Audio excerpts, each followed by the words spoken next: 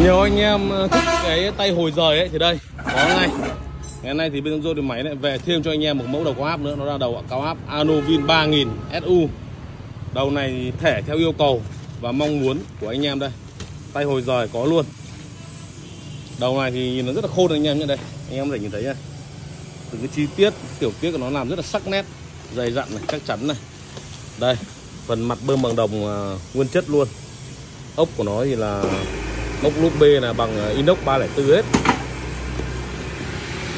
Bộ này thì lắp với motor 3 kg rưỡi anh em nhé 3 kg rưỡi Hoàng Anh này, hoặc là 3 kg rưỡi Trần Đăng Đạo này. Motor Việt Nam, bảo hành anh em là 6 tháng, cháy đổi mới luôn, không phải nghĩ. Đây, phần hộp điện thì có công tắc tắt mở này, đèn báo vôn này, bên trong là át chống giật phẩm từ này.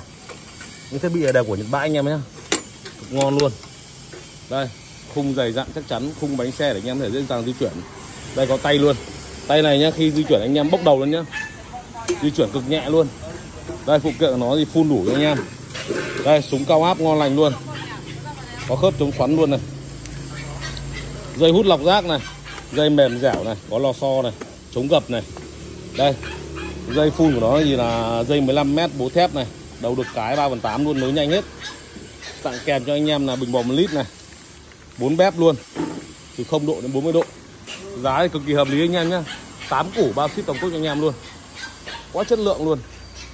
Piston của nó là piston sứ anh em nhá. Piston sứ luôn, không phải nghĩ. Rồi 8 củ bao ship toàn quốc còn đây, vẫn đang test máy và đóng hàng cho anh em đây. Ba pha này. Đây.